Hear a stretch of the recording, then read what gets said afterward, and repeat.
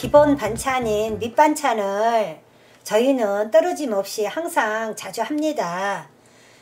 어, 멸치 볶음을 할 때는 견과류를 넣고 어, 진미채나 황태채를 만들 때는 본연의 맛을 즐기기 위해서 저희는 견과류를 넣지는 않습니다. 오늘도 황태채의 본연의 맛을 살려보겠습니다. 황태채를 물에다 한번 씻어갖고 하겠습니다. 오래 담그지 마시고요. 그냥 이물질, 이물질이나 먼지 이런 거를 하기 위해서 물에다가 이렇게 해서 바로, 바로 이렇게 건져주세요. 그러면은 먼지라든가 지저분한 불순물이 확실히 빠집니다. 이렇게 해서 요거를 꼭 짜주세요. 이렇게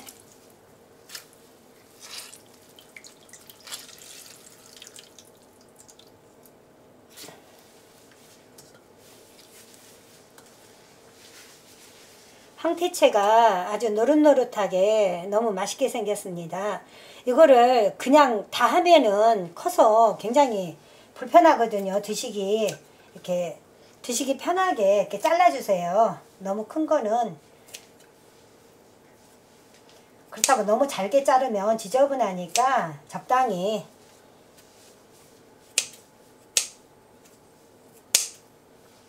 기본 식탁에 마른 반찬이 있으면 반찬이 몇 가지만 한 가지만 해도 풍성해 보이잖아요. 그죠? 그래서 저희는 항상 밥상에 기본 어, 마른 반찬은 한두 가지가 항상 있습니다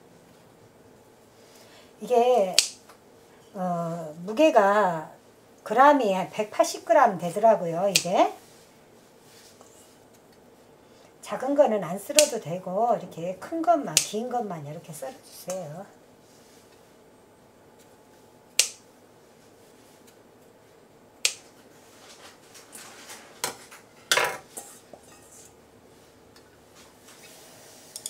황태채를 그냥 하지 마시고 이렇게 팬에다가 좀 볶아주세요. 그러면은 훨씬 더 맛있습니다. 노릇노릇하게 구워진 다음에 이제 양념을 하겠습니다.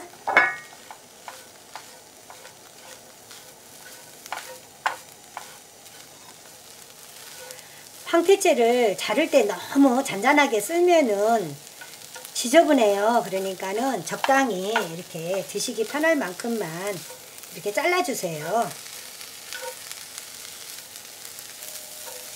이렇게 구워주면 비린맛도 나가고 굉장히 담백하니 맛있습니다.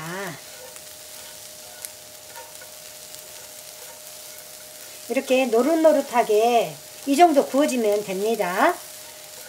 이제 불을 끄고 양념을 해 보겠습니다.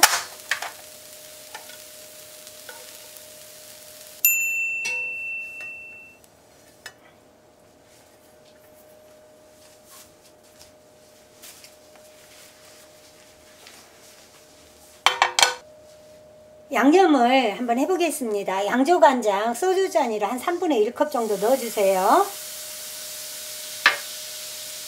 그 다음에 고춧가루는 어, 반 스푼이나 아, 한 스푼 정도 넣어주세요. 그 다음에 이제 마늘 마늘도 한 스푼 정도 넣어주시고 설탕 설탕도 한 스푼 정도 이렇게 넣어주세요. 고추장 한 스푼 정도 이렇게 넣어주세요. 이렇게 넣어주시고 그 다음에 이제 식용유 식용유 어, 한 두 스푼 정도 이렇게 넣어주세요. 참기름 참기름도 한 스푼 정도 이렇게 넣어주시고 물엿 물엿도 한 두 스푼 반 정도 한 세 스푼 가까이 넣어도 됩니다. 이 정도 이렇게 넣어주세요. 물엿은 이렇게 넣은 다음에 아우라지게 이제 불을 켜고 끓여줍니다. 이렇게 버글버글 끓을 때 불을 약한 불로 이렇게 줄여주세요. 그리고 양념을 이제 부- 황태채를 넣어주세요. 너무 간단해요. 눈 감고도 할 수가 있는 요리입니다. 이거는.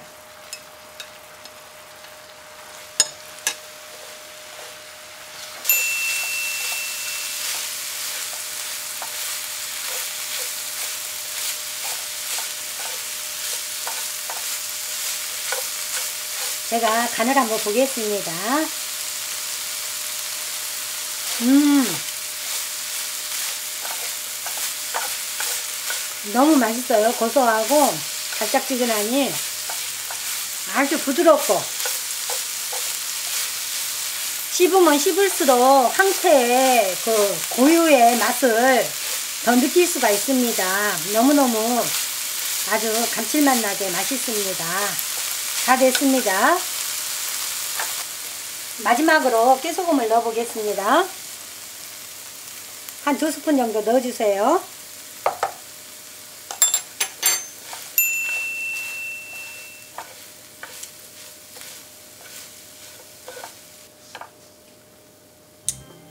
음, 너무 맛있어.